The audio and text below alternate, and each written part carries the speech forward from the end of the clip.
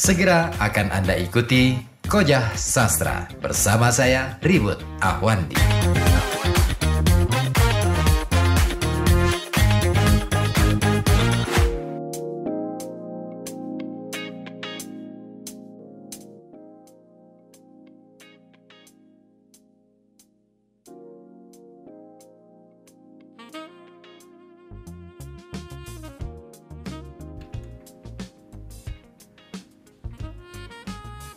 Ya masih di Koja Sastra bersama saya Ribut Ahwandi sampai pukul 21.00 nanti dan kita masih membahas topik makna perjuangan dalam novel Indonesia. Dan Anda bisa berbagi pengalaman baca Anda tentang novel Indonesia yang mungkin punya ya sisi-sisi perjuangan yang menarik untuk dibagikan di sini, diceritakan di sini. Boleh saja melalui 424474 ataupun WA, SMS ya 08554200912 ya. Dan tadi kita sudah mengulas sedikit bahwa dalam perkembangannya sastra Indonesia memang tumbuh dan berkembang seirama dengan zamannya. Bahkan sekarang novel-novel berlatar sejarah begitu ramai.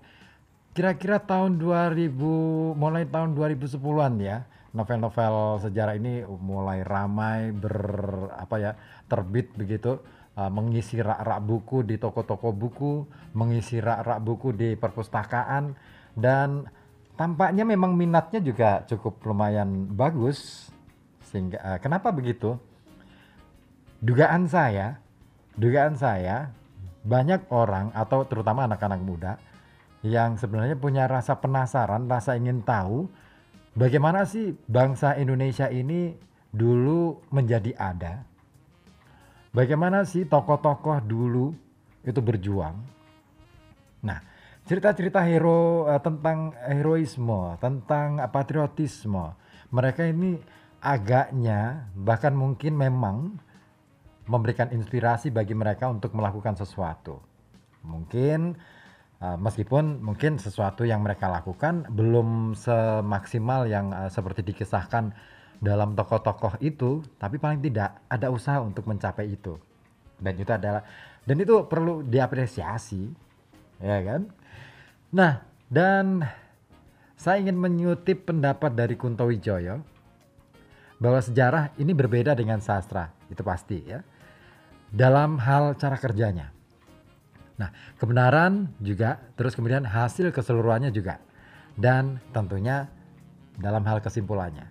Nah, tapi kaitan antara sejarah dan sastra ini cukup menarik untuk kita ulas bahwa sastra adalah pekerjaan imajinasi, kebenaran di tangan pengarang dengan perkataan lain ini bersifat subjektif Sastra bisa berakhir dengan pertanyaan sedang sejarah tentu harus memberikan jawaban yang jelas.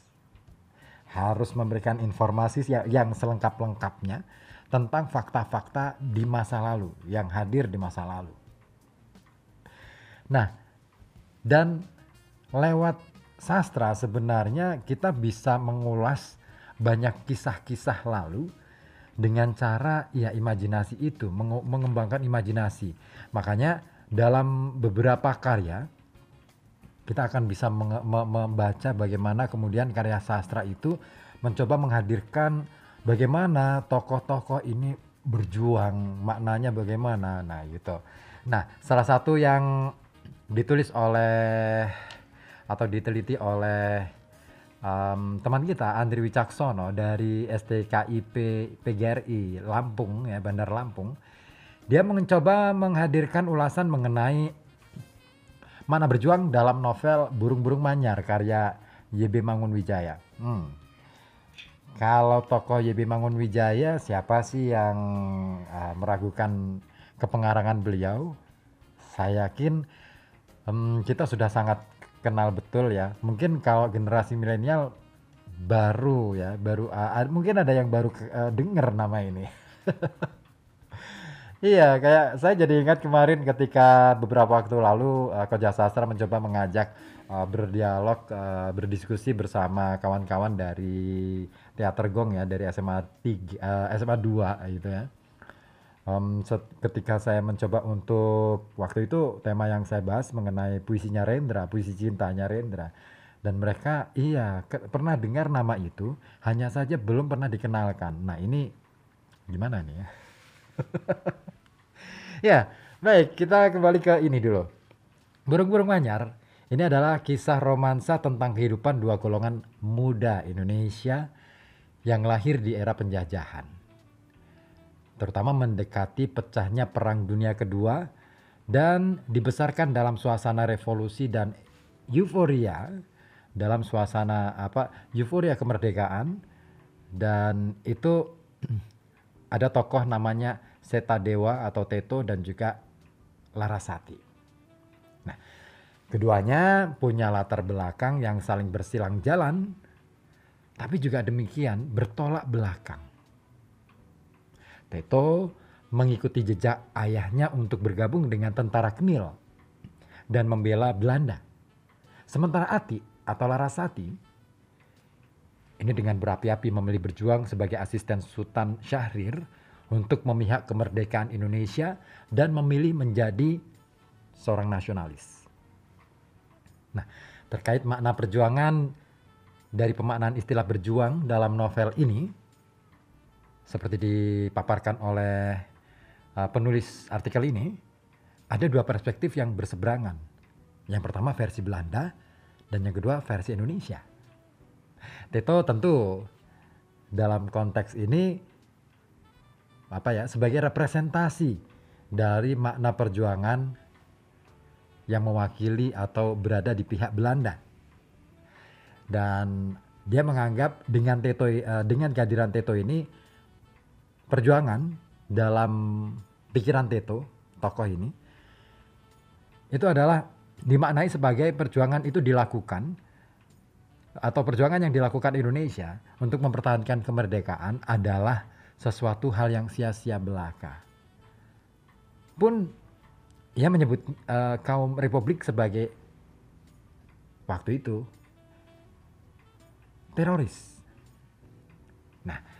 Seperti dikutip dalam dari burung-burung manyar ini dikatakan, maaf, Anda keliru alamat menamakan aku budak Belanda. Apa dikira orang desa dan orang-orang kampung akan lebih merdeka di bawah merah putih Republik, Republik daripada di bawah mahkota Belanda? Merdeka mana? Merdeka di bawah singgasana raja-raja Jawa, mereka sendiri daripada di bawah Hindia Belanda. Itu pernyataan Tito ya.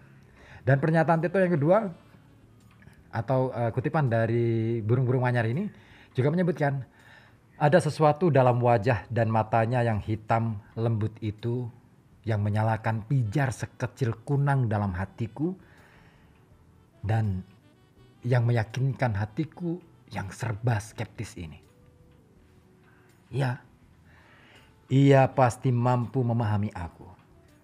Sebab Perdana Menteri ini bukan tipe teroris. Lain halnya dengan Soekarno. Nah, dari dua ketipan ini jelaslah sudah bahwa memang dalam perspektif yang berbeda, makna perjuangan pun akan menjadi berbeda. Nah, YB Mangunwijaya dalam Burung-Burung Manyar mencoba menghadirkan dua perspektif itu secara apik. Dan dari sinilah sebenarnya kita akan mencoba memahami bagaimana sebenarnya manusia seutuhnya. Dalam kelebihan dan kelemahannya dalam upayanya untuk mencapai cita-citanya dan dalam uh, dalam hal bagaimana dia menghadapi tantangan-tantangan hidup. Nah, itulah dan bagi Tito ini kawan, kemerdekaan yang diraih Indonesia adalah omong kosong. Ia memberikan argumen bahwa kemerdekaan yang diperoleh Indonesia tidak akan bisa murni. Hal itu dikarenakan dalam struktur negara yang digadang-gadang tersebut akan kembali pada sejarah lampau yang dikuasai oleh para pembesar dan bangsawan Jawa. Begitupun dalam penyebutan istilah bagi para Republikan. Teto memilih menyebutnya sebagai teroris. Dan dia eh, dalam kutipan tersebut, eh, dalam kutipan lain ini disebutkan Aku butuh atiku agar aku hidup terus. Tetapi gadis itu ada di pihak musuhku dan harus kuperhitungkan sebagai musuh. Nah, itu perspektif dari Teto dalam burung-burung manyar. Nah, bagaimana dengan perspektifnya si Ati atau Larasati? nah, Anda punya gambaran tentang novel Burung-Burung Manyar ini? Barangkali Anda punya um, semacam pengalaman dengan pembacaan uh, Burung-Burung Manyar ini? Silakan Anda bisa berbagi di 424474 ataupun di 0855 4200912. Yang pasti saya juga menyiapkan souvenir untuk Anda. Oke. okay. Dan Oke, ada yang bergabung di 08554200912. Ada Mas Adi di Kulu Karanganyar ya. Selamat malam Mas Adi. Haha, nyimak koja sastra biar pinter katanya. Oke. gitu ya. Oke. Uh, terima kasih. Uh, saya pasti akan bersama Anda tentunya di Koja Sastra dan tentunya setelah kita ikuti bersama Warta Sastra. Tetap di sini di FM 91,2 Radio Kota Batik. Bertransformasi menuju konvergensi media.